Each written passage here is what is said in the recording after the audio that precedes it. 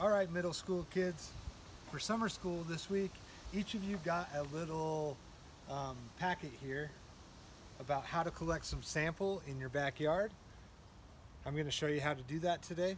Um, so you should have three things. You should have the packet, this little scoop that was taped to the front, and then there should be a bag with a zip tie inside your packet.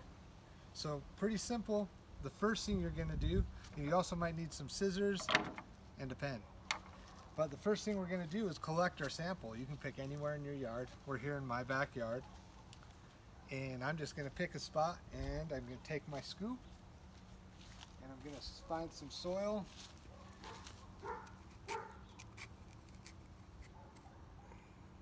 Got a little grass in there with it. And here we go.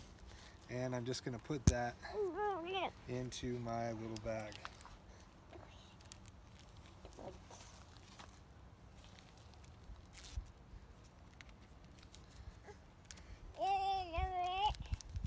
It opens up like that.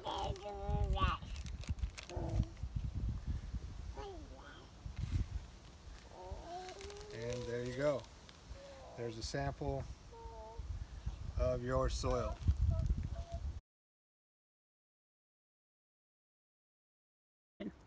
So now that I have my soil in the bag, I'm going to take the bag and flip it over one time like that and then close the tie around it so it's just like that.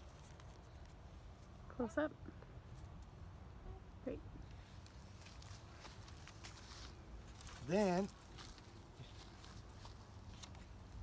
you're going to have to fill out the rest of your card.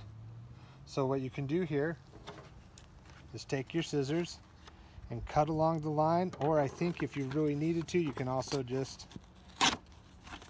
tear it. Then you're going to fill out everything that you need.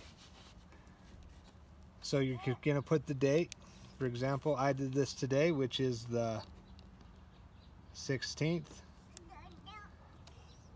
I did it in Lander, that's where I live, Wyoming, and the zip code. And here it asks you to check everything that applies. I've got this on my backyard and my lawn, and I live close to the mountains or the desert. You could say either one, or both of them.